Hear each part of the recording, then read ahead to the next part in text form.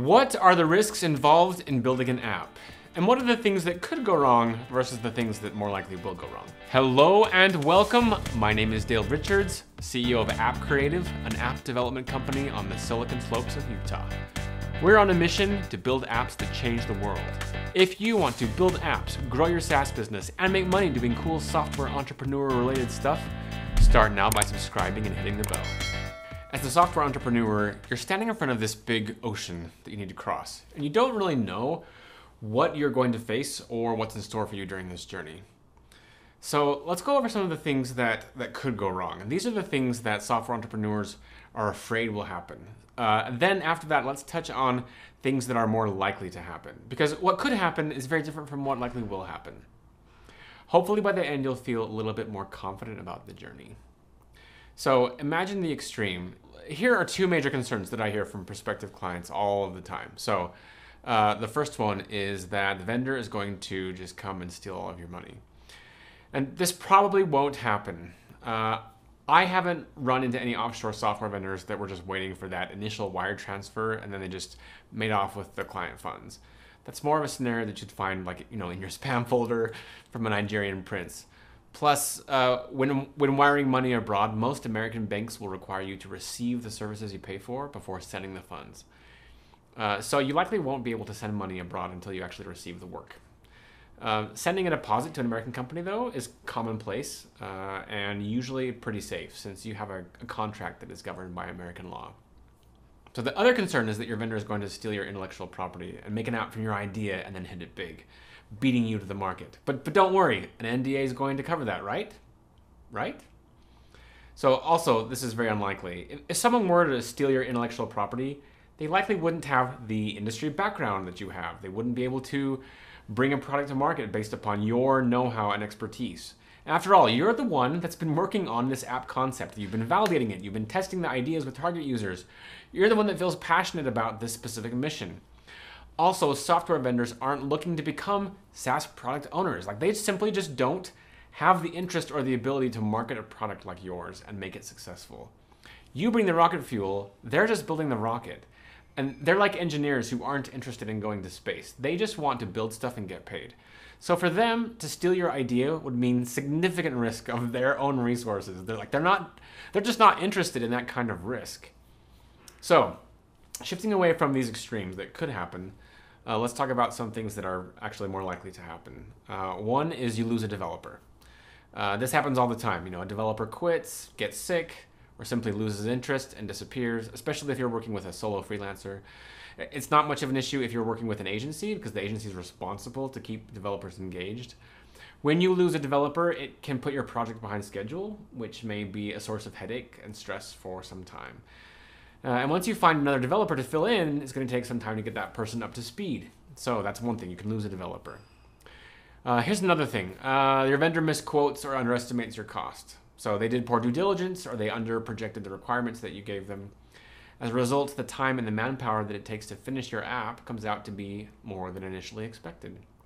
And as a result, the price will increase and potentially skyrocket for all the overtime and additions that your app requires chances are the vendor isn't necessarily being malicious. They probably just don't have a good process for estimation, or uh, they have a disconnect between sales and delivery. After all, estimating software development can be very hard. I know.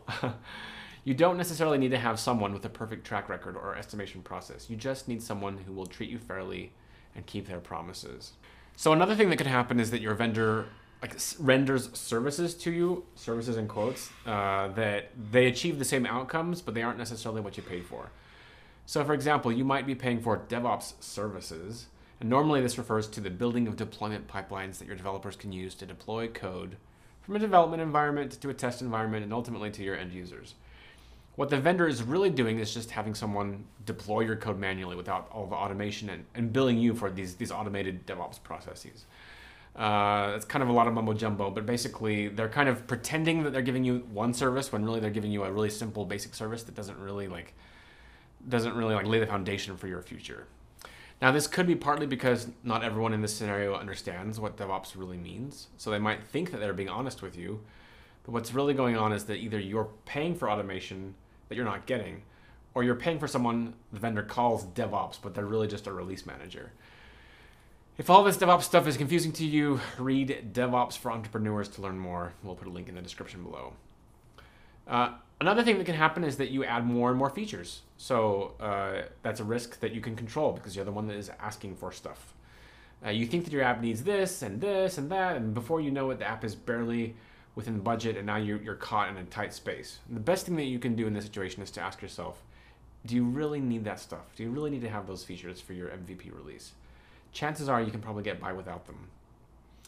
Uh, if you keep adding features, your timeline is going to get longer and your cost is going to increase.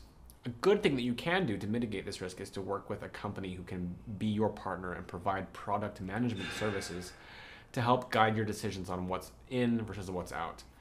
A lot of companies will just take your order and build whatever you say. And after all, like they're financially incentivized to build more stuff. So you want to work with a vendor that will say, you know, you don't really need this, and here's why, and then they can explain it to you. So a vendor that will turn away from added scope to help you do the right thing for your product is the vendor that you want. Another thing that's more likely to happen is that you build features that your users don't need. Sometimes you'll have a great idea to build a certain feature only to find out that your users don't really use it or, or even want it.